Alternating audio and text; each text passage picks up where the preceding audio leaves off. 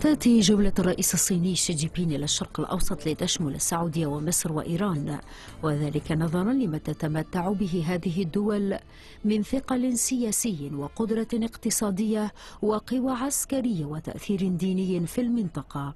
وعلى وجه الخصوص مصر كونها تستضيف مقر جامعة الدول العربية وتحظى بمكانة فائقة في العالم العربي لما قدمته من إسهامات.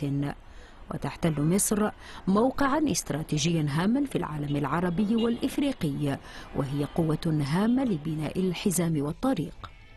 هذا وقد أشار الرئيس المصري عبد الفتاح السيسي خلال زيارته الأولى للصين إلى أن مبادرة الحزام والطريق التي طرحتها الصين توفر فرصا مهمة لنهضة مصر التي ترغب في المشاركة فيها بشكل نشط. تسعى مصر لإعادة الوضع الاقتصادي إلى مجراه الطبيعي منذ تولي عبد الفتاح السيسي سدة الحكم في عام 2014 هذا وقد أطلقت مصر المشروع القومي لتنمية محور قناة السويس إذانا بشق قناة جديدة موازية للقناة القديمة يبلغ طولها 72 كيلومترا.